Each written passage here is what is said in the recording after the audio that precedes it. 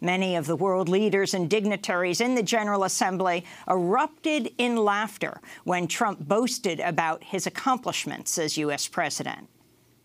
In less than two years, my administration has accomplished more than almost any administration in the history of our country.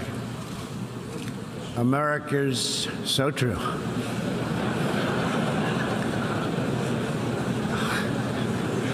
Didn't expect that reaction, but that's okay.